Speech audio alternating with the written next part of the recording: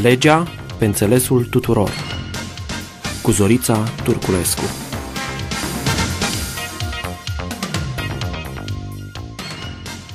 Dragi ascultători, bine v-am regăsit! În acest episod voi aduce în atenția dumneavoastră câteva aspecte cu privire la legea privind amplasarea și autorizarea mijloacelor de publicitate – mai exact, voi vorbi despre cadrul legal referitor la autorizarea afișelor, panourilor și a reclamelor publicitare ce le întâlnim în drumul nostru la tot pasul. Este important de știut că dispozițiile legii se aplică autorităților administrației publice centrale și locale, cum ar fi, de exemplu, primăriile, precum și tuturor persoanelor fizice și juridice implicate în activitatea de publicitate.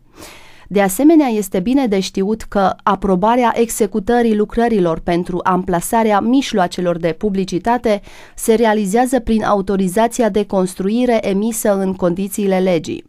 De exemplu, dacă sunteți proprietarul unei case pe care urmează să fie amplasată o reclamă publicitară, sunteți obligați să permiteți executarea lucrărilor pentru amplasarea reclamei, numai în baza autorizației de construire. La cererea solicitanților, primăria poate emite avize pentru publicitate temporară pentru amplasarea mijloacelor publicitare, care nu necesită fundații utilizate în cadrul unor campanii publicitare ce nu depășesc 30 de zile, indiferent de domeniul public al statului ori al persoanelor fizice. Legea precizează că stabilirea zonelor de publicitate se face de către consiliile locale prin hotărâre privind regulamentul local de publicitate. Astfel avem două categorii de zone de publicitate.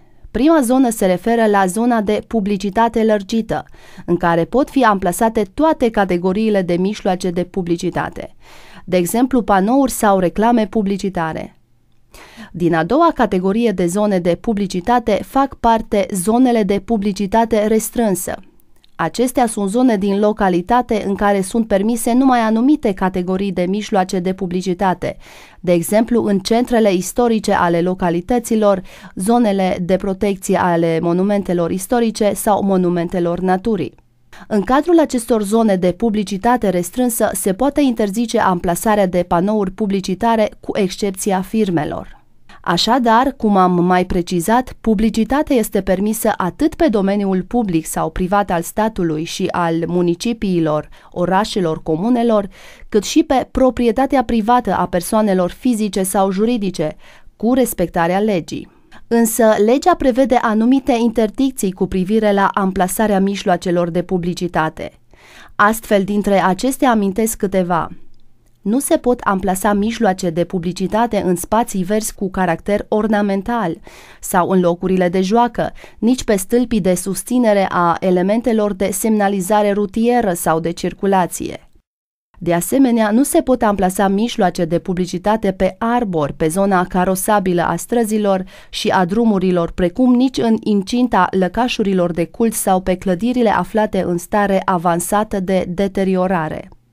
Totodată legea prevede că amplasarea mijloacelor de publicitate la o distanță mai mică de 3 metri față de limita de proprietate a imobilelor proprietate privată a persoanelor fizice sau juridice se va realiza doar cu acordul proprietarilor acestor imobile și fără să afecteze accesul acestora. Este bine de știut că legea prevede reguli specifice pentru fiecare categorie de mijloace de publicitate. Astfel, în ceea ce privește firmele, adică acele forme sau imagini atașate unei clădiri cu referire la un operator economic, de exemplu pentru un atelier de croitorie, acestea se amplasează de regulă la parter pe clădirile de locuit având spații cu altă destinație. Firmele se pot amplasa și la primul etaj, unde este cazul, însă numai cu acordul proprietarilor. Pe fațada spațiilor comerciale de la parterul imobilelor de locuit se pot amplasa alături de firme și alte mijloace de publicitate cu respectarea prevederilor legale referitoare la autorizarea firmelor. În acest caz, publicitatea se va diferenția față de firmă prin culoare sau dimensiune. Firmele iluminate vor fi amplasate la minimum 3 metri de la nivelul solului. Acestea nu trebuie să deranjeze traficul auto și pietonal, iar reflectoarele vor fi ascunse de elemente ale firmei. Apoi referitor la panourile publicitare, ecranele și publicitatea luminoasă, acestea pot fi amplasate pe fațade, pe terase ori acoperișuri ale clădirilor. Atenție însă, sistemele lor de prindere să nu constituie o sursă de accidente și să nu afecteze structura de rezistență a clădirilor.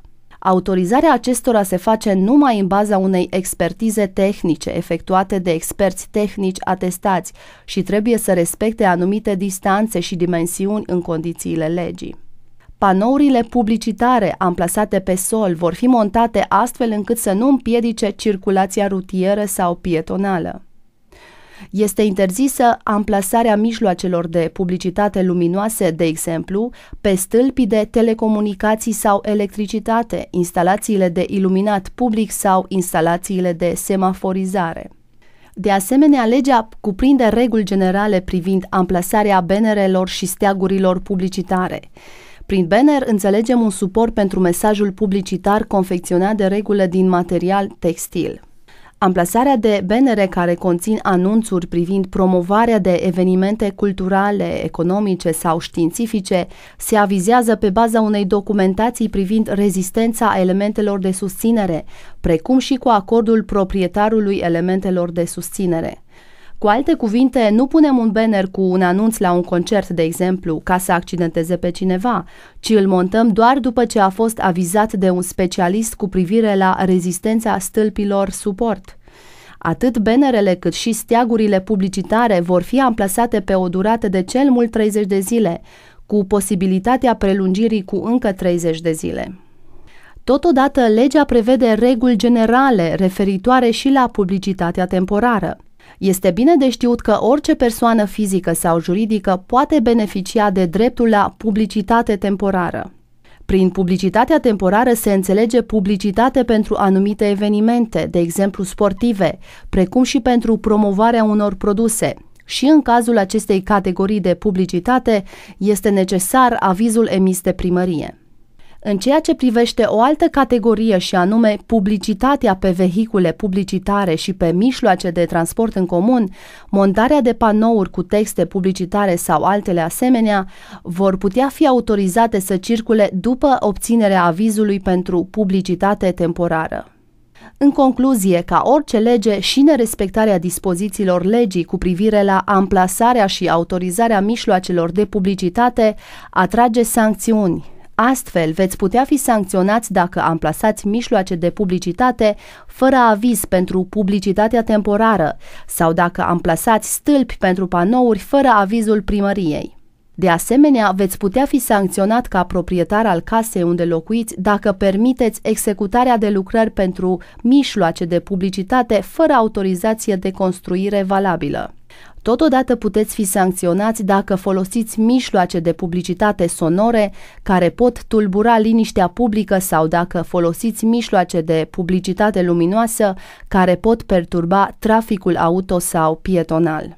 Sunt Zorița Turculescu și la final aș mai adăuga și sfatul Bibliei care prin vocea înțeleptului Solomon ne spune Planurile omului harnic nu duc decât la belșug, dar cel ce lucrează cu grabă n-ajunge decât la lipsă. Legea pe înțelesul tuturor cu Zorița Turculescu